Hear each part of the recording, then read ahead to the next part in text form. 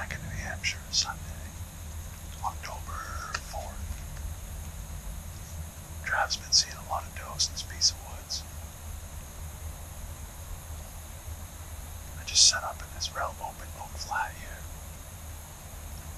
I'm gonna try to use the tree to hide where they usually come. The Wind's coming right in my face. Bedding's in front of me. There's also some bedding to my left, so it's gonna be tricky.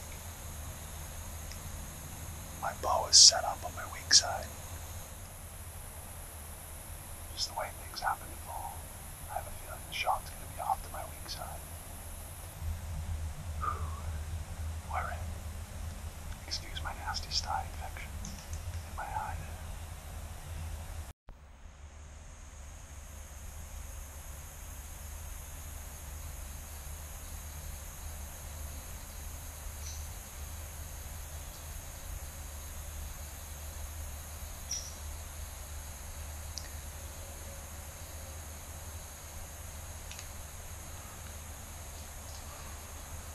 Getting tired. Alright, so the sun's about to go behind the treetops. About 10 minutes ago, we had a huge temperature drop. You could literally feel it hit you. The wind's still solid. The blue jays are going nuts over the bedding area right now. Hopefully that means these deer are getting on their feet coming this way. So off the bedding area, they can go one of two ways. They can either go to me, or they can go to Travis. Other than that, they'd have to go through someone's yard or across the road. Now with those two directions, obviously there's plenty of places they could be out of reach. With that temperature drop, literally all the noises in the woods changed. Squirrels went quiet. Birds started chirping. Look at that nice one cast a shadow over everything. Feels like a solid night. Just one of those nights you feel like something's gonna happen. I stuff breaking by the bedding area, but could be anything, could be acorns falling on limbs.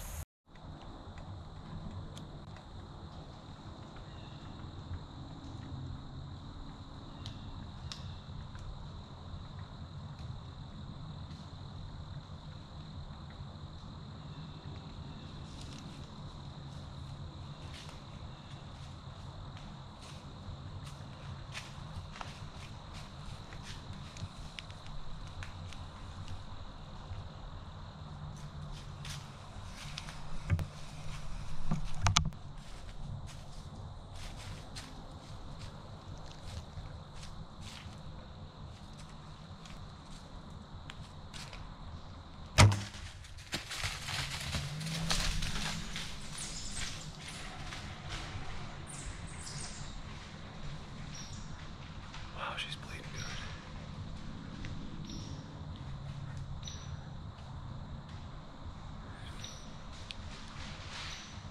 That's it, she's junk.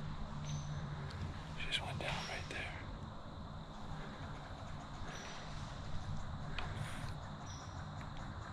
Little one, but I'll take it. It's one tag done. Literally, I could have spit on.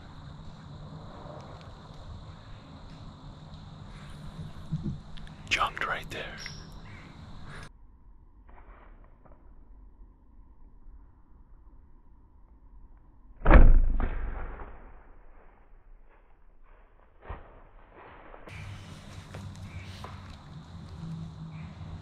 Yep, giving her last boots right now. Alright, so I just sent Travis a Snapchat.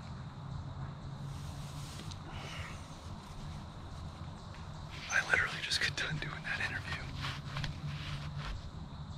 And I turned around and the deer is at less than 20 yards. That whole time I was talking and moving.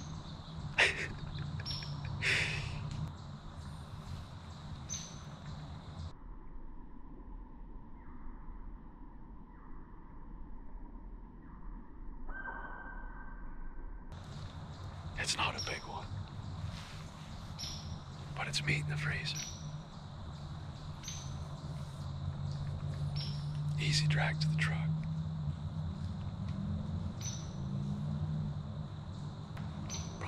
yards. First New Hampshire whitetail down. Three more tags to go. Nice and early, still got an hour. So, just to give you guys more of a idea of what happens in here. So the bedding area is over there, about 150. The deer always come from there, and they usually come this way. And I haven't been set up close enough, so they never really make it to me. And then there's a field over there, about 100 away. There's a field behind me over here, about 100 away. The trucks are about 150 away. I came in from that tree way over there that's down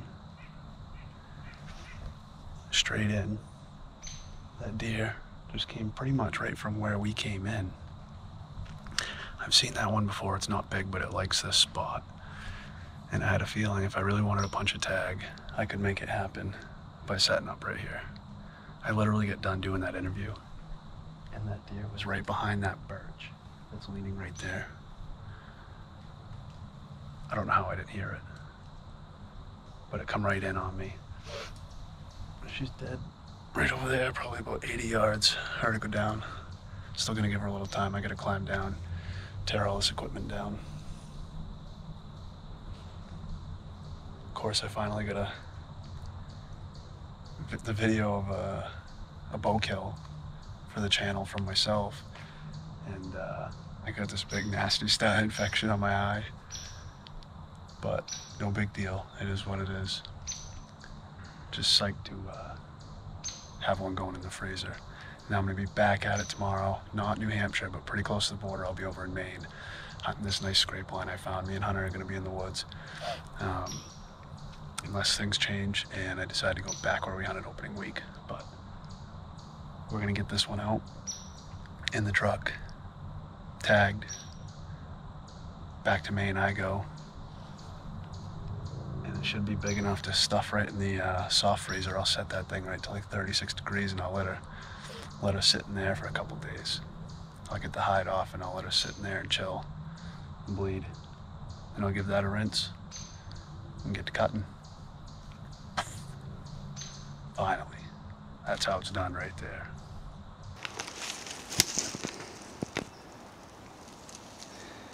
Come get some of this. Yeah, so this is where she must have initially crashed. Come in from right there. Yeah.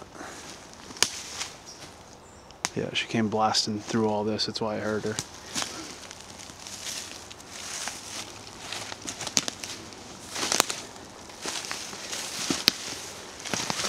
Alright. Yeah. That was a high shot. Straight down that way.